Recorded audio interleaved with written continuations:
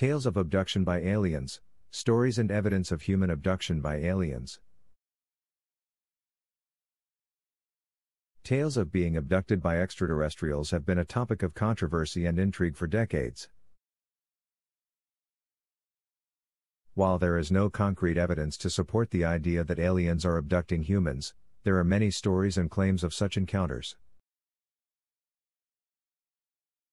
One of the most famous cases of alien abduction is the Betty and Barney Hill incident, which occurred in 1961 in New Hampshire, USA. The Hills were driving home from a vacation when they claimed to have seen a bright light in the sky that followed and eventually stopped their car. They reported being taken aboard a craft by non human beings and subjected to medical experiments before being returned to their car. Another well known case is the Travis Walton incident, which occurred in 1975 in Arizona, USA. Walton was working on a logging crew when he and his colleagues reported seeing a UFO. When Walton approached the craft, he claimed to have been hit by a beam of light and taken aboard the craft. He was missing for five days before being found and returned to Earth, claiming to have been subjected to medical experiments by the extraterrestrial beings. There are many other stories and claims of alien abduction, but there is no concrete evidence to support these claims.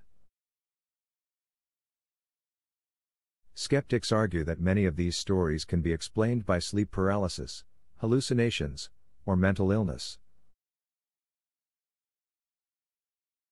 Despite the lack of concrete evidence, the idea of alien abduction continues to captivate the public imagination and has been a popular theme in science fiction and popular culture. Whether or not these stories are true, the idea of being taken by extraterrestrial beings remains a fascinating and intriguing topic of discussion. While there is no concrete evidence to support the idea of alien abduction, some researchers and enthusiasts have attempted to gather evidence and investigate these claims. One such researcher is Drive. David Jacobs, a retired professor of history at Temple University and a leading expert on alien abduction. Jacobs has interviewed hundreds of people who claim to have been abducted by extraterrestrial beings and has written several books on the subject. Another researcher is Drive. John E. Mack, a Harvard psychiatrist who also studied cases of alien abduction. Mack conducted extensive interviews with abductees and argued that their experiences were genuine and not the result of mental illness or other psychological disorders. Despite the efforts of researchers like Jacobs and Mack, the scientific community remains skeptical of claims of alien abduction. The lack of concrete evidence and the prevalence of alternative explanations make it difficult to take these claims seriously. Regardless of whether or not these stories are true, the idea of alien abduction continues to be a popular topic of discussion and debate. It raises important questions about the nature of extraterrestrial life and our relationship with the universe around us.